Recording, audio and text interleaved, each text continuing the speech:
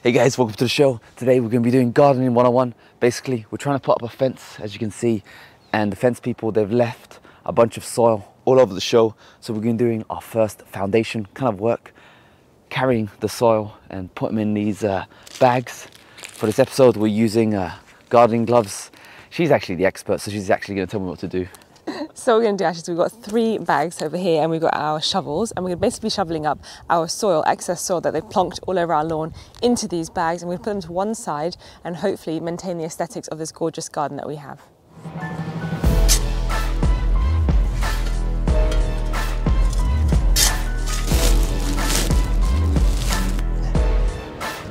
It's taking the shovel and just kind of like remove the covering soil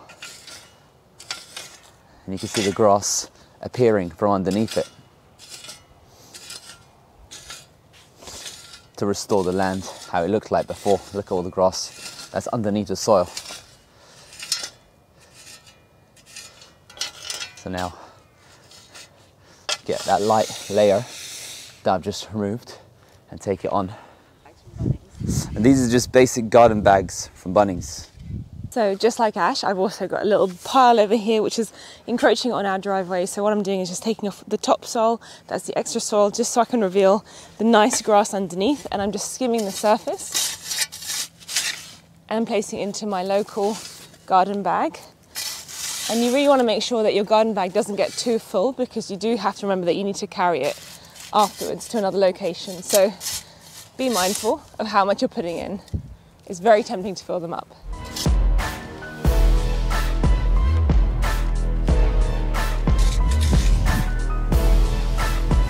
Putting it into the bag. Oh yeah. Soil is being lifted to unveil the grass. Gorgeous. Look, just check this out. That dirty brown soil is revealing a gorgeous patch of green grass. Hallelujah. Praise the Lord. So in hindsight, probably what we should have done to avoid all this manual labor is had we kind of had the foresight to know that they were going to make little piles of soil around the place, we probably would have put some tarpaulin down and then got them to put the soil on top of the tarpaulin so it's a lot easier for us to just collect it and chuck it in the bin or reuse it somewhere else because right now we're just uh, busting our backs for this uh, situation. It's good, good work though. How are you feeling? I'm enjoying it. I'm really, yeah, it's so much fun. You're loving it, aren't you? I like that it's working.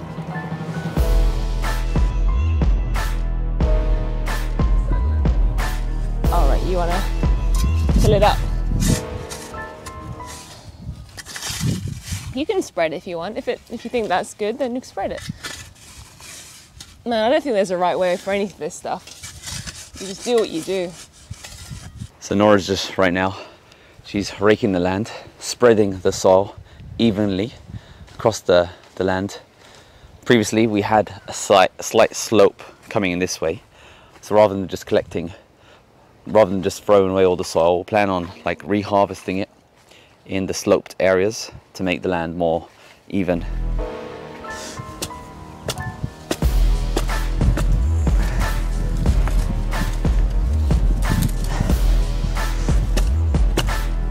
Giving it a right old kick. There you go. Look at that. Put the shovel slightly underneath and then just kick it in.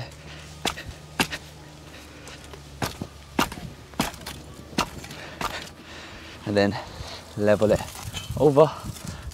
This one, it looks scary, but it's just for the sprinkler. And our sprinkler sys- system's been defunct for like 10 years. It doesn't lead to anything, so I'm not worried about that. And that's the last piece of the brick. Good work, Ash. Over here, what I'm doing is just taking some of this excess soil that we got, which is good quality, avoiding the cement, and I'm just placing it over the areas where we haven't had grass growing here for some time. Because what we're going to end up doing is give it a decent amount of topsoil, and then we'll get some grass seeds, and we're going to just grow it again. So we've got that luxurious looking green grass, and also this helps just to level out the area as well, because we do have a bit of a slope. So we're going to have a gorgeous looking front yard very soon.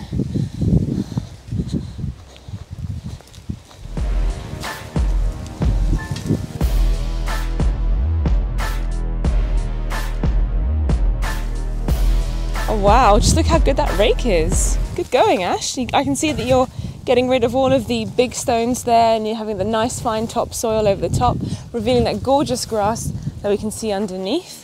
It looks beautiful. It's like a nice healthy bit of soil over there.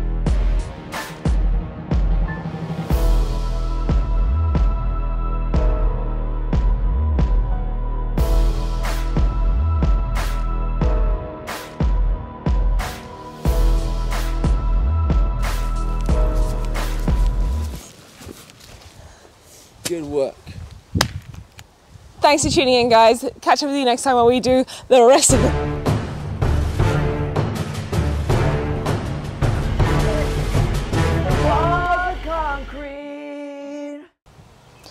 Tea break.